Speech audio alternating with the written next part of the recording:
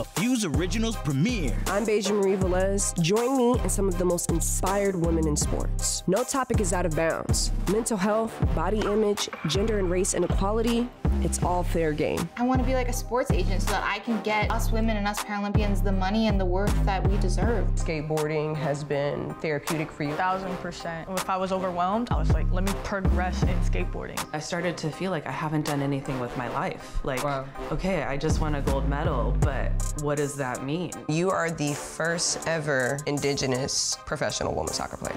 Yes. How does that make you feel? I felt a ton of responsibility, but I felt so much support. The world of sports has done a huge injustice. They've painted us as these villains to women's sports. At the end of the day, we're women, period. Eliminate the transgender aspect, we're women. I skate. I swim. I spike like a girl.